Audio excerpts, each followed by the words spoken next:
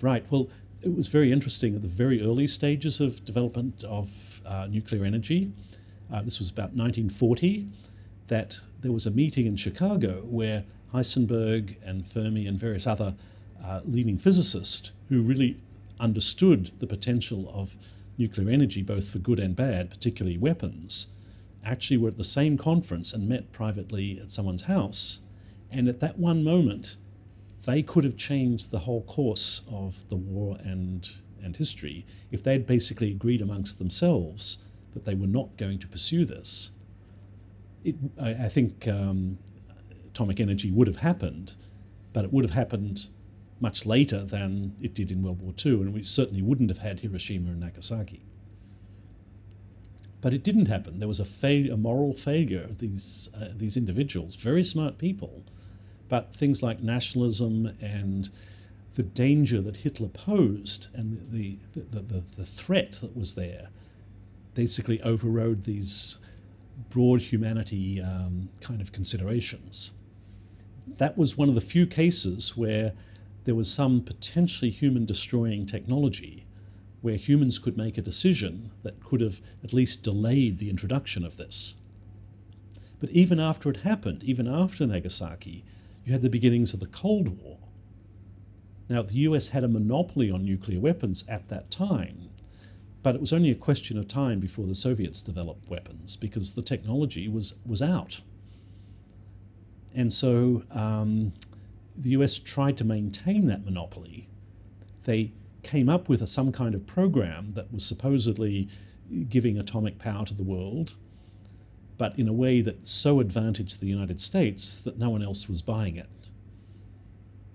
So selfish concerns, nationalist selfish concerns, basically overrode the um, the benefits of um, getting international cooperation from the beginning. But it's not at all clear that, given the Cold War situation, that making all this technology available would have actually uh, stopped proliferation or stopped the danger of nuclear weapons. And as you probably know, it went from atomic bomb, which was tiny compared with what uh, the hydrogen bomb was capable of delivering, and it got so bad that the and the scale of the, the weapons stockpile so large that one of the reasons we've had peace for the last 70 years is because the threat of nuclear weapons basically meant the war, any war that used them, was essentially suicide for both for, for all parties. So in, in, a, in a sense, it's ironic that the most destructive weapon ever actually ensured peace. On the other side, the introduction of gunpowder went the other way anyone who could afford to make gunpowder and guns had an advantage, and it became a scramble between competing European powers to, uh, to, to master and use the technology. And once it was out, it couldn't be put back. And we're in that same situation with nuclear bombs now. So that's only a historical example of a failure of uh, moral authority to block the development of, of weapons. But there is one counterexample. So basically, um, when the Portuguese were thrown out of Japan in about 1600, um, the, the shogun basically had seen how destructive firearms were to the samurai class and basically banned firearms. And so you actually had a, a, a, lethal technology that was put back in the bottle. But of course, what happened was it was put back in the bottle in Japan. But other countries continued to develop um, uh, basically warfare technology. And so when Japan was forced to open up to the world again in 1860s, um, they realized just how far they'd fallen behind.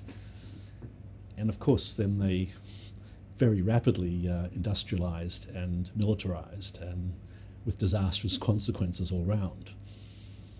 So it is possible to put the, the genie back, but it takes a strong central government to do so.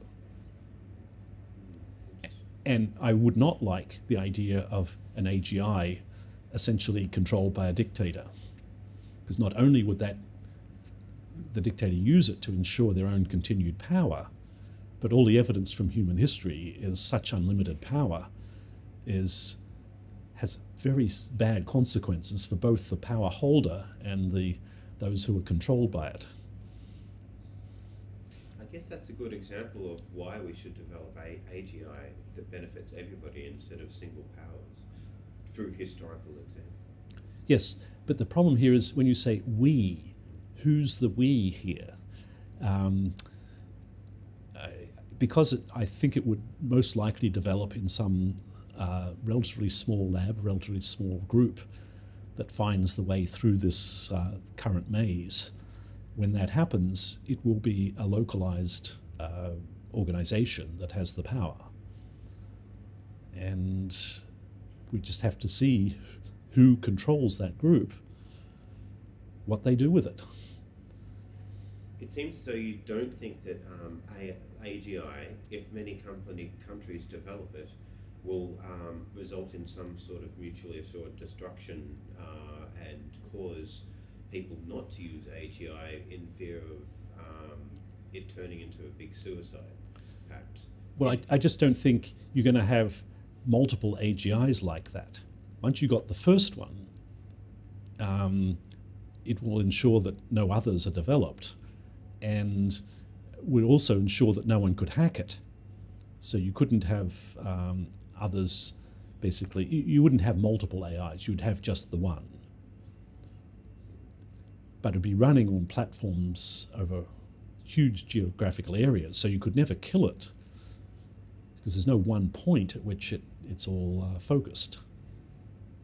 If um, an organization rushes in to build the AI, it's not given, to my opinion, that they'll actually benefit from it because very quickly after it, if they develop the AI, um, they may get that, what they um, sort of code for, but they may not get what they want.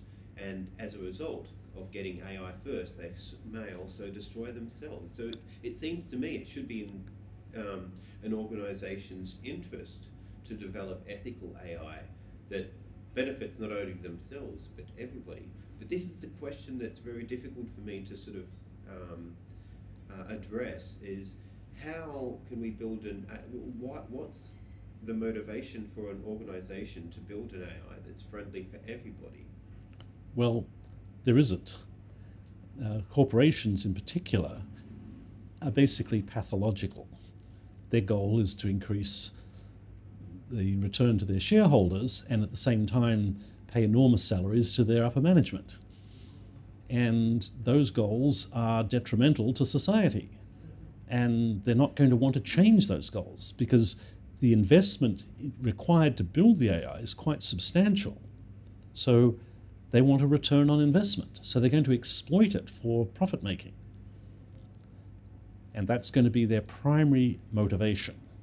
Now, they might be persuaded to put in a few safeguards, but uh, it's not at all clear that just this kind of low level, uh, low priority part of the development is going to get the attention it would need in order to really secure the, uh, the ethics.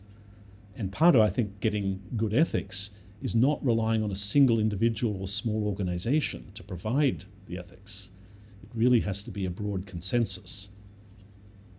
Otherwise, you get one group exploiting the other. And as we know from human history, that is the normal pattern. Do you think it's more difficult to create an AI that, that has ethics that benefits everybody than creating an AI that has ethics that benefit only a few people in upper level management of organization X? I think it's much easier to do the narrow ethics for the organization because it's just smaller. Basically, maximize profit to us. Um, and maybe put a few constraints so it doesn't go around and figure out how to uh, bleed money off people's bank accounts and basically turn into a, a natural uh, you know, criminal in the highest order. They may put some constraints on it, but probably not enough. Unfortunately, that's the world we live in. That's it, it's only large organizations that can marshal the resources necessary to build this kind of system. And they're going to have a say in what the goals of this, this super intelligent AI is. And it, they may, uh, from open discussions about the dangers, understand that they really just can't take a narrow focus viewpoint and, and maximize it for their benefit and uh, screw everybody else, they may they may do it in such a way that they might give themselves a bit of a preference, but they still are taking very seriously the, trying to benefit everybody. But it really just depends on the individuals, the decision makers in these organizations. And presumably the researchers that are also developing it would have some say. Although, if you look at the history of the Manhattan Project, the scientists had almost no say at all in how the atomic bomb was used.